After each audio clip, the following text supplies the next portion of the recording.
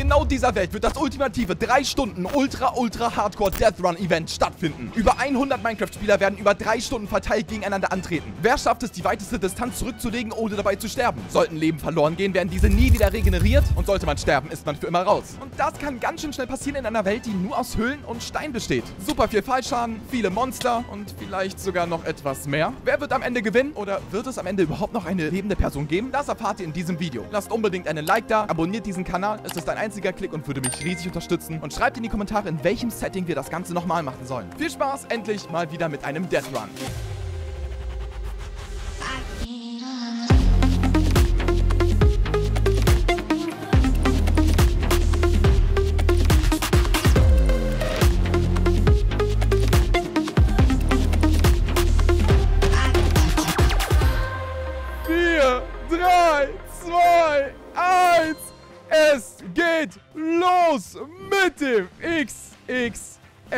Death Run.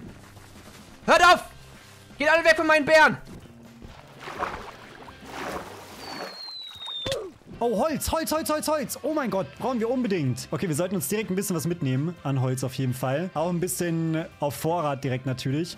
Oh Gott. Okay, Holz halt super, super wichtig, ne? Also wirklich. Wir werden drei Stunden super viele Spieler in eine Richtung laufen und es geht am Ende darum, wer schafft es, die weiteste Distanz zurückzulegen innerhalb dieser Zeit. Ihr kennt das ganze Format, es ist endlich nach anderthalb Jahren zurück und ihr seht selber, was hier für ein Chaos herrscht. Ich werde natürlich auch mein Bestes versuchen, um eine möglichst gute Performance äh, ranzuholen, aber gerade am Anfang ist das super, super wichtig, so schnell wie möglich auch an Ressourcen ranzukommen, wie unter anderem Holz. Denn wir sind hier in einem ganz, ganz besonderen Szenario. Wir haben ja ein 100% Cave Death Run am Start. Das bedeutet, es gibt nicht die Möglichkeit, irgendwie an die Oberfläche zu kommen. Wir müssen dauerhaft unter der Erde bleiben, nur in einer Höhle. Und das heißt auch, dass teilweise sich hier die Crafting Tables geteilt werden müssen. Brüderlich. Okay, ich glaube, wir laufen jetzt mal ein bisschen weiter, oder? Wir nehmen Eisen auf jeden Fall mit und sonst äh, machen wir uns langsam in die Richtung.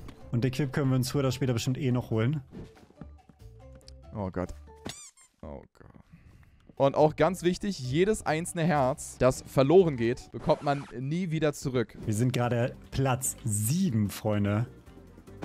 Nein! Oh no! Minus halbes Herz. Let's go. Platz 6 gerade. Nein, was tue ich? Es wird auf jeden Fall interessant. Es wird sehr chaotisch. Lasst unbedingt einen Like da. Abonniert diesen Kanal, um keine weiteren Videos mehr zu verpassen. Für mich geht es jetzt erstmal hier mit diesem Anfangs-Mindshift darum, sich, äh, wir müssen erstmal gucken, dass wir ein bisschen Holz ranbekommen. Denn gerade wenn man in einer Höhle durchgängig ist, könnt ihr euch vorstellen, das wird auf jeden Fall krampfhaft, wenn wir uns durch Stein mit der Hand schlagen müssen. Deswegen, wir können uns ja mal ganz kurz hier an dem Crafting Table bedienen. Und ihr seht auch aktuell rechts im Scoreboard, ich bin Platz 98 von circa 100. Ist, ähm, jetzt nicht meine stärkste Performance. Es ist auch das erste halbe Herz schon weg. Ist eher so semi-gut, aber wir müssen über die Langstrecke natürlich versuchen wir zu performen. Und ich möchte eigentlich so schnell wie möglich an Eisen rankommen. Denn all mein gesamtes Holz ist erstmal wasted, wenn ich das für, äh, wenn, wenn ich das für Holz oder Steinspitzhacken ausgebe. Mit weniger Herzen ist man nicht langsamer nehmen. Mein Gott. Ey, mein Gott, ich verliere so schnell meine Herzen. Das Gute ist, wir haben ja noch ein paar übrig. Acht Herzen zu Beginn nach sage und schreiben sechs Minuten. Ich gebe auf jeden Fall mein Bestes. Es wird auf jeden Fall sehr, sehr interessant. Und ich glaube, dass wir auf jeden Fall eine Menge, Menge Spaß haben werden. Und ich bin gespannt zu sehen, was für Taktiken benutzt werden, wie die Leute vorankommen werden. Und ich bin selber auch gespannt, wie ich hier performen werde. Ich werde jetzt am Anfang erstmal auch meine Holzspitzhacke verbrauchen. Was ist das? Ach, höher darf man nicht als das. Kurze Erklärung mal zu diesem wunderbaren Scoreboard, was ihr auch sehen könnt. Also ihr seht erstmal links meine Distanz, die ich zurückgelegt habe. Die liegen bei aktuell 230 sage und schreiben Blöcken. Das wird hoffentlich noch mit der Zeit ein bisschen mehr. Wir haben insgesamt 221 Herzen, die verloren gegangen sind, von allen Spielern zusammengerechnet. In der Mitte die restliche Zeit. Oben rechts dann die Anzahl von Spielern, die aktuell noch dabei sind. Und rechts daneben die Anzahl von Spielern, die gestorben sind. Ich sag mal so, es sind schon neun Leute gestorben. Ähm, es tut mir auf jeden Fall leid an diese Amigos, aber ja, man muss auf jeden Fall ein bisschen aufpassen. Und ich hoffe, dass wenn mir hier irgendjemand mein Eisen klaut, nicht cool. Denn ich werde eine Sache machen, die super, super wichtig sein wird. Ich mache mir ein Schild. Wir machen uns auch einen Eimer. Für den einen oder anderen MLG in brenzlichen Situationen sehr praktisch. Und Wasser habe ich hier direkt auch schon gespottet. Das können wir hier direkt mitnehmen. Das wird weh, oder? Das wird mich abfucken. Das würde mich persönlich an der Stelle echt ärgern. Direkt die Eisenspitzhacke. Und falls ihr euch wundert, Basti, das ist doch ein Wettrennen. Was machst du gerade? Du chillst dein Leben. Ja, am Anfang ist das nicht unbedingt super, super notwendig, so schnell wie möglich jetzt voranzukommen, sondern am Ende geht es darum, nach drei Stunden noch am Leben zu sein und ganz vorne zu stehen und nicht direkt am Anfang in den ersten zehn Minuten. Das war bei mir schon immer wieder die äh, Taktik bei Death Runs und ich kann das auch wirklich nur jedem empfehlen. Lieber etwas ruhig und über die lange Strecke gewinnen. Unser Holz seht ihr aber selber schon ziemlich knapp, aber wir haben jetzt natürlich auch eine Eisenspitzhacke und eigentlich, wenn man drüber nachdenkt, was ist das Schlauste, um sparsam mit Holz umzugehen? Ich denke eigentlich, sich eine Diaspitzhacke zu machen und auf jeden Fall mit dem, was man hat, sparsam umzugehen. Und jetzt gerade laufe ich auch zurück, weil ich habe das Gefühl, ich weiß nicht, ob ich genug Holz habe. Ich habe Angst davor, mit zu wenig Holz dabei zu sein, falls ich später kein Mineshaft mehr finde. Deswegen, ich glaube, ich würde hier am Anfang noch mal ein bisschen mehr Holz mitnehmen. Mich würde aber natürlich auch interessieren, was die anderen so für eine Taktik haben. Wir müssen echt schneller. Munulf, hast du eine Spitzhacke? Ich baue oben ab, du baust unten ab, okay? Schafft ihr das? Ihr seid so geil, ihr seid so geil. Essen ist halt auch ein großes, großes Problem. Da muss man sich auf jeden Fall um Glowberries eigentlich kümmern. Aber so wirklich welche sehe ich jetzt hier nicht. Oh nein. Alright, eine Glowberry. Die können wir auf jeden Fall später noch anbauen. Ich glaube, dass die später sehr, sehr, sehr entscheidend sein kann. Ist schon ganz gut. Und jetzt geht's langsam los, ein paar Meter zu machen. Oh Gott! No! Mob-Spawning ist aktiv. Ich brauche unbedingt ein Schild. Da habe ich ja gar nicht dran gedacht. Oh, Bro, wir haben so wenig HP, ne? Das ist gar nicht gut, Alter. Meint ihr, wir sollen kurz für Rank 1 gehen und uns dann Equip machen? Komm, lass kurz für Rank 1 gehen und dann Equip bauen. Oh, das war gar keine gute Idee. Rank 1, let's go! Egal. Das überlebe ich nicht, oder? Doch. No! Was? Nein! Hallo! Ich komme hier nicht weg, ich bin stuck! Nein, ich bin sowas von stuck! Wow!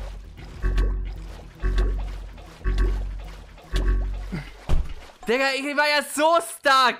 Alter, es sind super viele... Mo oh mein Gott, ich habe das Gefühl, das wird jetzt hier noch richtig eklig. Boah, ich brauche Essen. Das tut gut. Sich jetzt irgendwie mit Krampfressourcen über Wasser halten.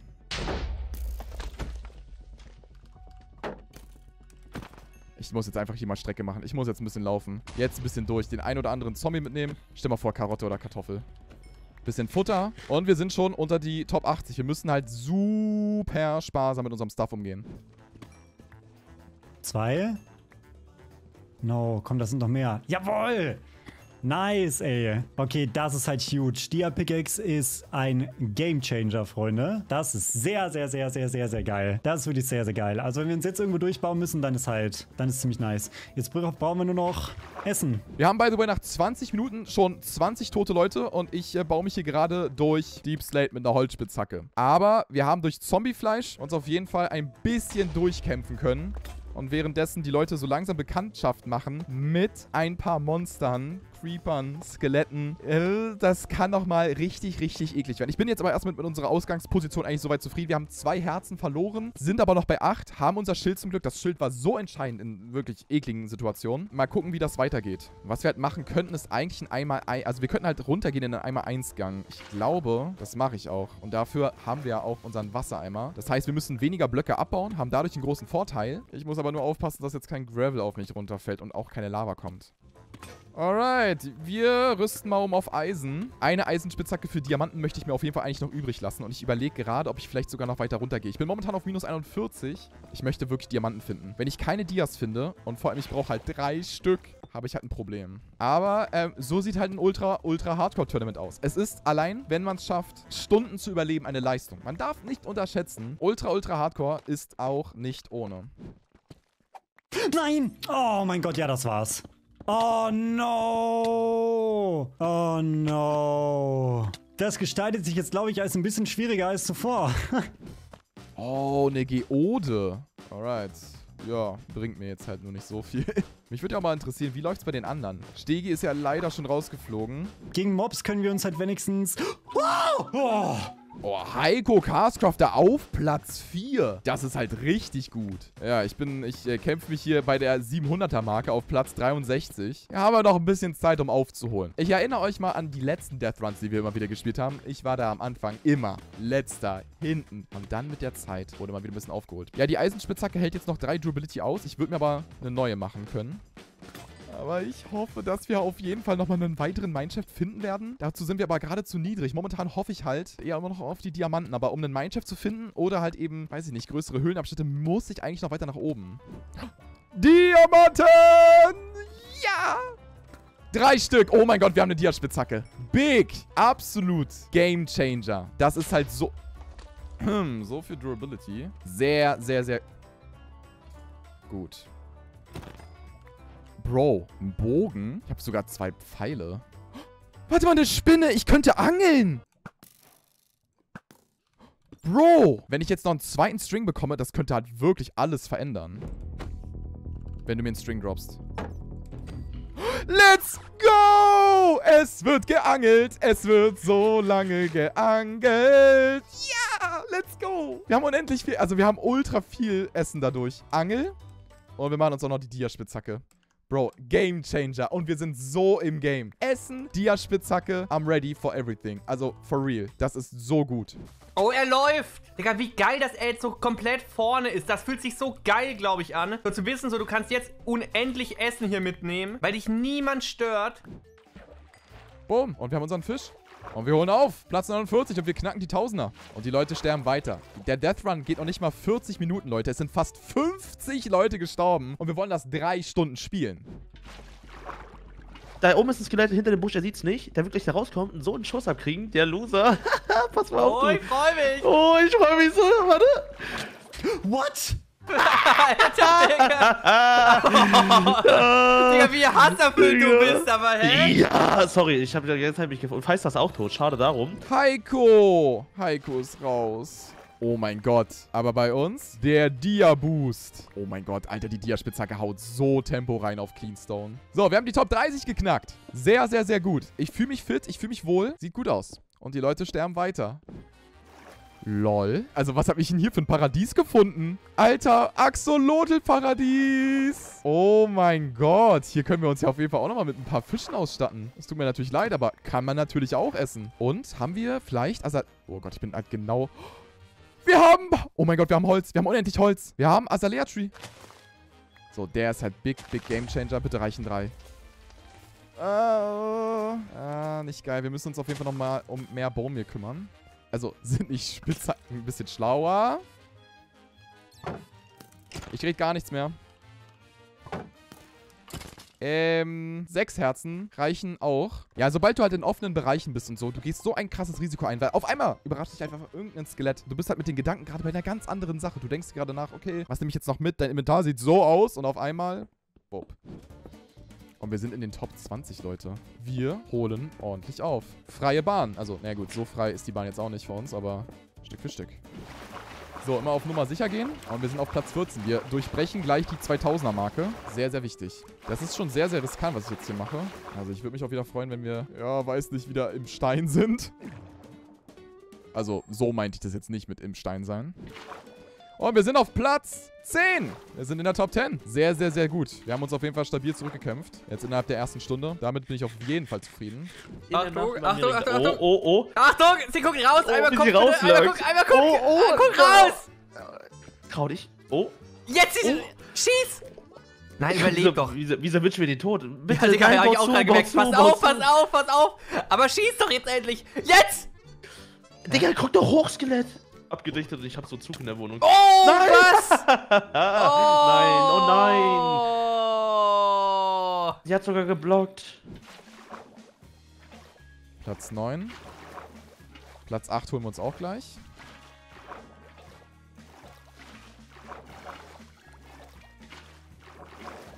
Platz 7. So, Platz Nummer 6. Ich glaube, wir sparen nicht nur gerade unsere Durability, sondern wir sind halt super lucky. Und ich glaube, damit keiner das machen kann, was ich mache, baue ich mal ein bisschen auf eklig hier die Gänge zu. Wenn man, by the way, Tab drückt, dann sieht man ja so ein bisschen die Herzen durch. Da sieht man auf jeden Fall, dass viele Leute auf jeden Fall runter sind. Ich glaube, es gibt, nie, es gibt kaum jemanden auf 10 Herzen oder vielleicht sogar niemanden. Boah, Leute, es macht so Spaß, es macht so Laune. Was würde ich an meiner Stelle machen? Noch Eisen mitnehmen? Ja, oder? Ich meine, wie viel habe ich? Halben Stack. Ich würde schon noch ein bisschen mehr mitnehmen. Vielleicht machen wir uns halt wirklich noch eine Rüstung. Ich glaube, Full Iron Rüstung ist nicht dumm. So, Full Iron, das ist doch ordentlich. Und wir sind in der Top 5, während ich mich nicht bewegt habe. So, und jetzt müssen wir erstmal wieder ein bisschen selber bauen. Ist aber kein Problem, denn wir haben ja eine ziemlich stabile Diamantspitzhacke. Im Zweifelsfall haben wir genügend Eisen, genügend Holz, um uns auch selber Sticks zu machen. Das sieht momentan richtig, richtig, richtig gut aus. Das lässt sich auf jeden Fall sehen. Und wir wollen natürlich auch ein bisschen was selber bauen. Aber es war, glaube ich, eine sehr, sehr gute Taktik von der Person, die sich vor mir befand, auf jeden Fall den Weg zu nutzen, wenn ich ihn halt schon entdeckt habe. Vielleicht finden wir ihn ja irgendwann wieder. Aber ich werde für die nachfolgenden Leute immer wieder ein bisschen auch zubauen.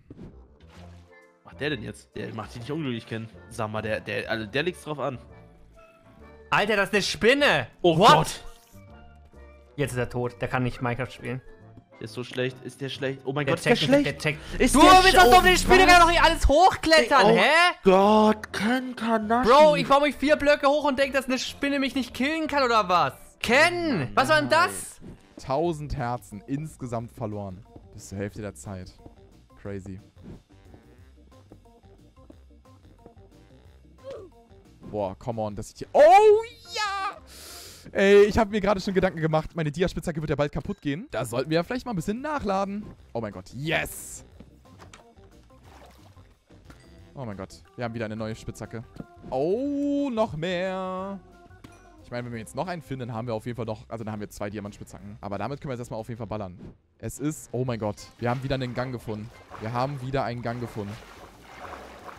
Und wir haben die 4000er Marke durchbrochen. Also Platz 1, unfassbar krasser Abstand. Also der einzige Spieler, der bei 5000 ist. Man muss auch dazu sagen, er ist bei einem Herzen. Also das ist auf jeden Fall auch eine kleine Zitterpartie. Ansonsten alle bei Mitte, also in den 4000ern. Ich ja auch. Bin momentan jetzt auf Platz 7 wieder unterwegs. Aber der Abstecher für die Diamanten, die ich jetzt am Start habe, hat sich definitiv gelohnt. So, Platz 5. Mal sehen, wie lang. Aber momentan sieht es natürlich sehr, sehr gut aus. Ist das gerade Kelp? Man weiß ja nie. Kann man auf jeden Fall auch nochmal anbauen. Aber bevor ich mich jetzt mit Kelp vollballer, mal gucken. Bro, warte mal, was? Wir sind erstens Platz 4 und da ist eine Ocean-Ruine. Was? Platz 4, Leute. Platz 4. Aber, Alter, Platz 1. Alter, das ist richtig krass, dass der ähm, schon fast bei 6000 ist. Diamanten. Haben wir theoretisch sogar noch eine zweite Diamantspitzhacke. Diamantspitzhacke weg. Neue Diamantspitzhacke ist schon am Start. Und wir sind kurz vor den 5000 Blöcken. Also 5000 Metern. Oh, oh. Wir sind in den unter 30. Aber bei mir ist auch eine 3 vorne. Wir sind dadurch jetzt auf Platz 3 gekommen. Ich ziehe aber auch ordentlich mit dem Tempo durch. Habe aber natürlich das große Glück, dass ich hier immer wieder den Gängen von den Spielern vor mir auf der Spur bin. Oh, Platz 2. Let's go. Aber alter, L-Crafter ist halt heftig weit vor uns noch. Man muss dazu sagen, der Kollege ist aber halt auf dem halben Herzen. Mal sehen, was das hier noch alles wird. Huh, Leute. So langsam kommen wir dann auch in Richtung letzte Stunde. Es sterben definitiv weniger Leute, aber es sind schon noch ein paar Leute auf einem halben Herzen. Ich bin gespannt, ob wir vielleicht sogar noch auf unter 20 gehen. So, ja, wir machen hier ein bisschen einen Tauchkurs. Soll mich gar nicht stören. Vielleicht sogar nochmal einen Diamanten auf nebenbei mitnehmen. Ah, leider keiner. Und wir haben die 6000er. Die 6000er Marke durchbrochen. Oh, oh mein Gott! Digga, was ist denn jetzt los? Ist ja der schönste Tag in meinem Leben. Ich bin reich. Alter, wir haben elf Stück. So, die letzte Stunde bricht an. Wir sind momentan auf Platz 2. Ich bin super zufrieden. So, die 7000er Marke wurde gerade durchbrochen. Das sieht sehr, sehr gut aus, Leute. Und so langsam steuern wir auf die 20er Marke zu. Ich freue mich auch sehr, dass wenn diese Diamantspitzhacke gleich kaputt geht, dass ich dann einfach nochmal direkt eine zweite parat habe, ne? Ich habe auch vor allem zu Platz 3 1000 Blöcke Abstand. Ist auch voll nice. Und wir sind bei den letzten 20 angekommen. Also Leute, noch eine Dreiviertelstunde. Ich bin hier fleißig am Buddeln. Wir haben momentan auf den ersten Platz. Pff, fehlen uns knapp 300 Blöcke. Also auf Langzeit holen wir gut ein. Aber es sind halt auch noch 45 Minuten und wir haben halt immer noch 5,5 Herzen. Und Platz 1 ein halbes. Mal gucken. Ich bin generell gespannt, ob die 10.000er Marke noch gebrochen wird. Aber es sieht momentan sehr stark danach aus.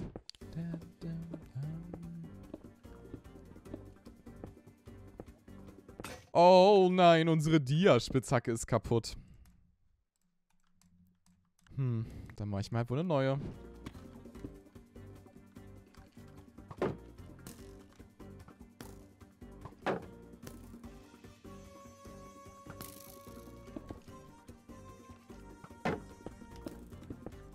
Kostet leider alles gerade Zeit. Aber gibt auch Knochen.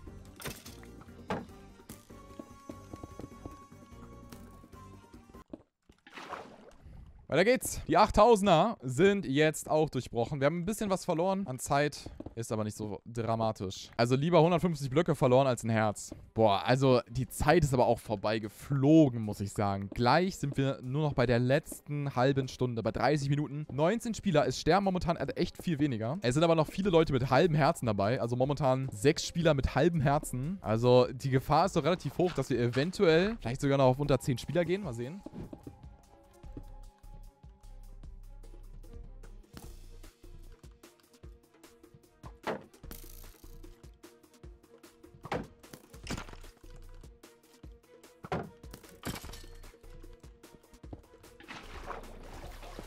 Das ist halt so wichtig. Wenn ich jetzt mit einem halben Herzen spielen würde, ich würde mich kaum trauen, durch, diese, durch solche Höhlen zu gehen. Das sind eventuell die Kleinigkeiten, die mir vielleicht ein bisschen immer wieder einen Boost geben. Das Problem ist, ihr seht meine Hungerkeulen. Ich habe noch eine Glowberry. Ich müsste halt kurz einmal angeln. Ich glaube, zwei Fische sollten aber für den Rest des Tournaments reichen. Ich könnte auch Glowberries einfach... Ja, true. Ich glaube, Glowberries ist schlauer. Ich brauche keine... Ich brauche das Bowman nicht mehr für Holz. Ich glaube, ich sollte lieber dann darauf gehen.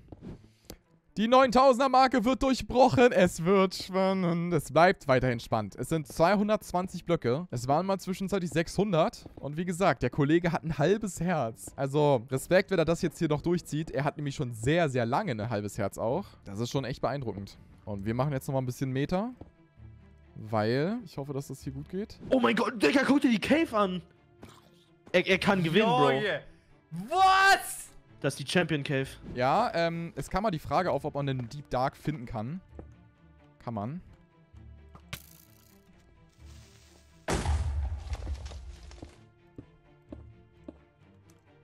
Bro, wir könnten mal auf entspannt gleich einen Warden beschwören.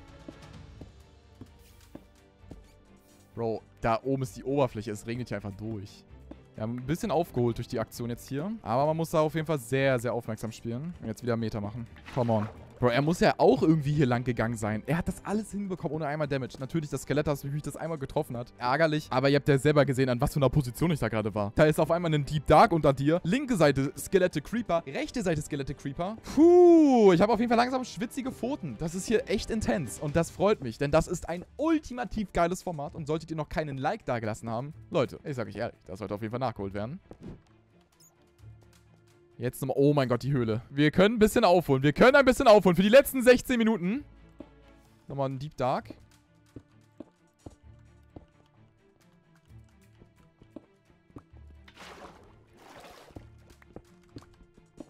Ich mache bei den Block hinter mir immer nur schnell für Babyzombies. Boah, oh mein Gott, das wird insane. Nur noch 16 Minuten. 10.000 Blöcke wurden geknackt von ihm. Wir sind 60 Blöcke hinter ihm. 10.000 Blöcke, jetzt auch von mir. Bro, krass. Oh!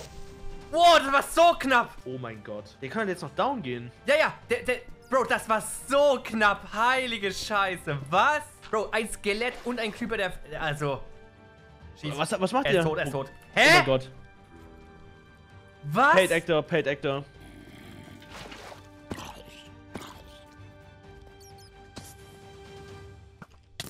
Tot, er ist tot. Oh mein Gott! Das Skelett hat mir geholfen. Auf die Eins. Digga, Er jetzt gewinnt Basti, das. Basti kann jetzt einfach chillen. Holy shit. Digga, auf die Ja, letzten aber- elf Minuten. Aber am Ende, was hat er denn gespielt? Das, das war ja wirklich, das war ja nur noch riskant. Alter, er hat lange durchgehalten mit einem halben Herzen. Das muss man dazu sagen. Aber das sieht, das sieht sehr solid aus. Also das sind 1500 Blöcke Abstand. Die in 11 Minuten zu knacken. Das wird schwierig. Naja, mal gucken, was noch möglich ist. Wir spielen das jetzt hier safe noch runter. Souverän, entspannt runter. Aber ihr müsst euch mal ganz kurz überlegen. Ihr wisst noch, wie mein Anfang aussah. Bro, ich habe direkt ein Herz verloren. Unnötiger Fallschaden. Holzkratzen. Ich habe kein Essen. Alles doof. Ja, ich habe so... Ich habe wirklich gedacht, dass ich früh an irgendeinem Monster oder so sterbe. Aber dass das jetzt hier... Wow. Platz 2 ist auch noch gestorben. Da sind es über 2000 Blöcke. Oh, das ist bitter. Noch kurz vor Schluss sterben. 99 Spieler insgesamt gestorben. 14 am Leben. Aber an die 14 Leute, die hier am Leben sind, wirklich großen, großen Respekt. Es ist unfassbar stark gemacht. Und wir werden sogar noch die 11.000er Marke durchbrechen. 11.000 Blöcke werden auch noch voll gemacht. Ich habe überlegt, ob 10.000 möglich sind. Und jetzt stehe ich hier selber auf Platz 1 mit 11.000. Ähm. Oh nein. Blue ist auch gestorben. Und damit sind insgesamt 100 Spieler sind insgesamt gestorben. 11.111 und den Tierhelm. Wir haben es geschafft! Oh mein Gott, GG's. Ultra geil. Ultra geiler Death Run. Wir sind am Ende auf Platz 1 gelandet. Mit 11.111 zurückgelegten Metern in Richtung Norden. Danke an jeden Einzelnen, der mitgemacht hat. Es hat ultra Spaß gemacht. Es war ultra, ultra geil, mit der Community solche Events zu ballern. Immer wieder gerne. Wenn ihr mehr davon sehen wollt, lasst unbedingt einen Like da. Abonniert diesen Kanal und schaut auf jeden Fall gerne auf Twitch vorbei, falls ihr eventuell mal bei so einem ähm, Events mitmachen wollt. Ultra geil. GG's an alle.